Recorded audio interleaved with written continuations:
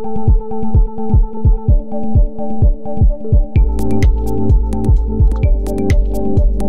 you.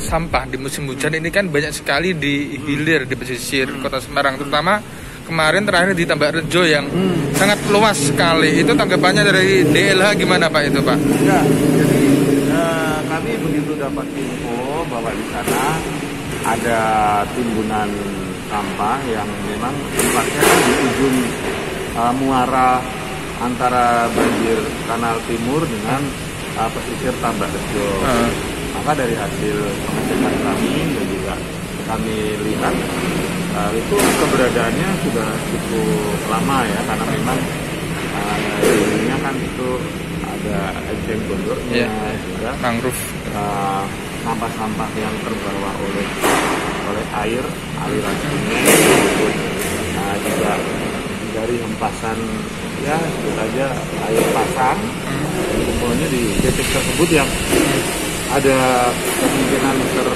itu apa tersangkut di sana. Yang jelas kami sudah mengambil langkah-langkah. Saat ini yang sedang kami lakukan.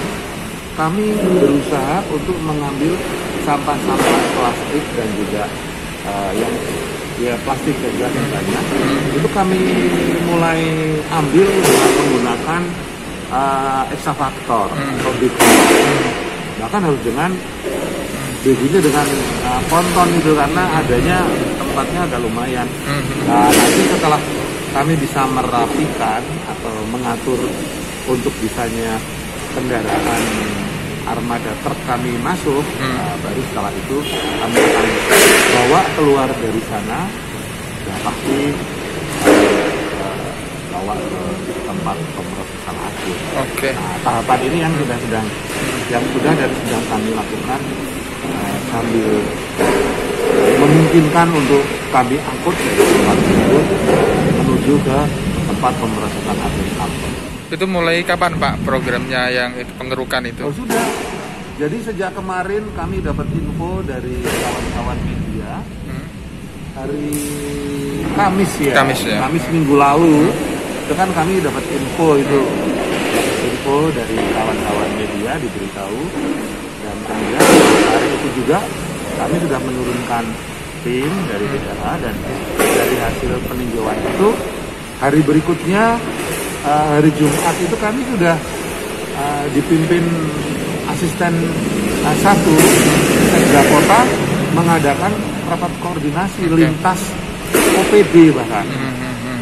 camat, lurah, kemudian juga ada dari BBWS karena memang itu kan masuk di PKT uh, daerah aliran sungai banjir kanal timur dari BBWS data dan dalam kesempatan tersebut uh, disepakati langsung hari itu juga ditinjau perawatan apa yang bisa masuk ke tempat dan kemarin baru bisa masuk itu uh, ekskavator amfibia itu loh. Oh, iya, iya. bisa di air. Nah itu juga dari BBWS. Berencana melanjutkan dengan ponton yang lebih besar hmm.